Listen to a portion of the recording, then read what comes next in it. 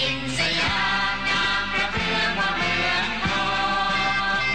ใครเขาครองทางประเทศที่แดนการเปลี่ยนชื่อสยามประเทศเป็นประเทศไทย อันนี้ท่านรือเปล่าครับคงจะเป็นหลายคนแต่ว่า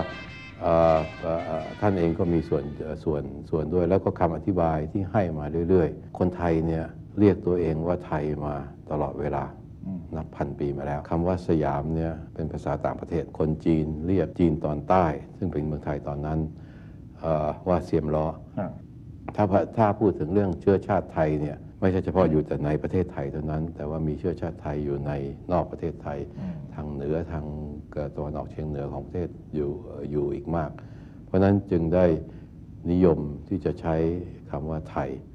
เอ่อมากกว่าคำว่าสยาม อ๋อนี่เห็นตรงกันข้ามเลยนี่ครับเห็นตรงข้ามไปเลยดีใช้คำว่าประเทศสยามตลอดเวลา